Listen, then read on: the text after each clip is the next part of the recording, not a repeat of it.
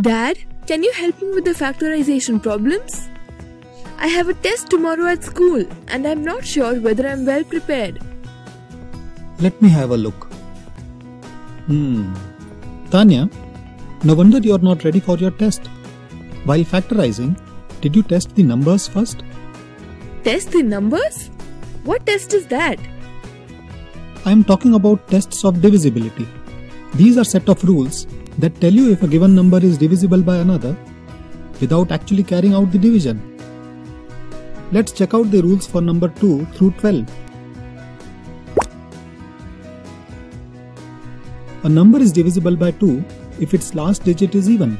For example, 294 is divisible by 2 because 4 here, which is the last digit, is an even number. On the other hand, 405 is not divisible by 2 as its last digit 5 is an odd number.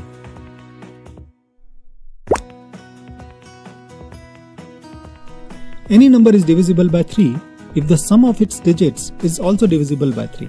Take for instance the number 3276.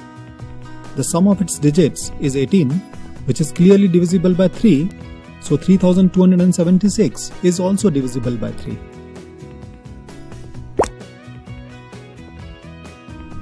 For any number to be divisible by 4, you simply check its last two digits. If these are divisible by 4, then the number is also divisible by 4. 42,725, for example, is not divisible by 4 as its last two digits are not divisible by 4. On the other hand, 37,164 is divisible by 4 as per this rule, the last two digits being 64.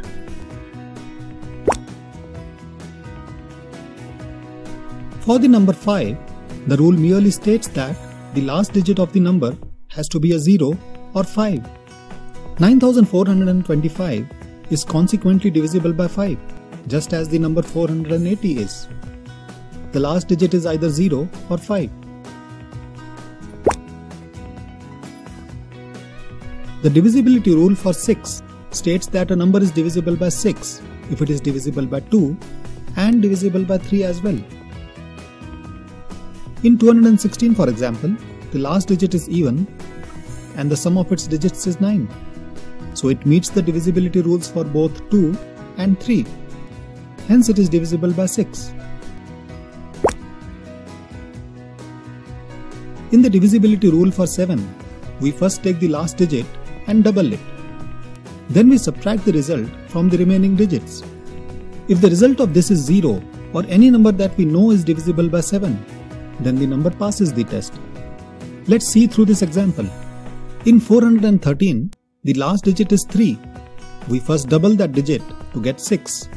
Now we subtract 6 from the remaining digits of the number. 41 minus 6 is 35, which we know is divisible by 7. So 413 is also divisible by 7. Take another number 84. Doubling the last digit gives us 8 and subtracting it from the remaining digits gives us 0. Hence 84 is also divisible by 7. Now let's look at the rule for number 8. Take the last 3 digits of any number and see if it is divisible by 8. If it is, then the entire number is also divisible by 8.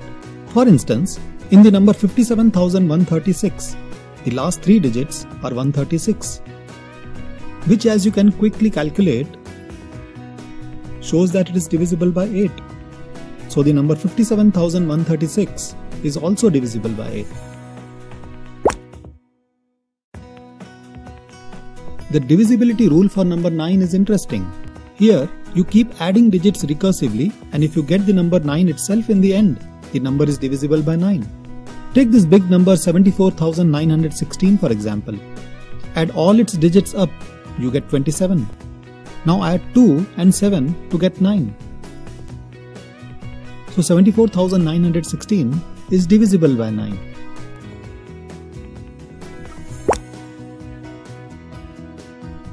The divisibility rule for the number 10 is nothing but a check if the last digit is 0 or not. In 3281, the last digit is not 0, so it is not divisible by 10. However, in 23,540, the last digit is 0, so it is divisible by 10. Easy, no big deal. The rule for 11 is remarkable. Add all the digits in the odd number places and then add all the digits in the even number places. Subtract the results. If the result is 0 or a number that is divisible by 11, then the entire number is divisible by 11.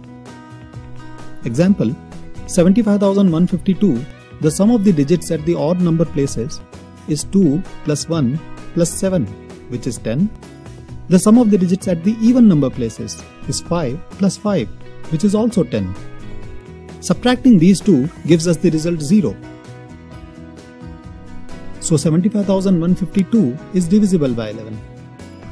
Also, in 21,824, the sum of the digits at the odd number places is 14 and the even place value digits add up to 3. The difference is 11, so the number 21,824 is divisible by 11.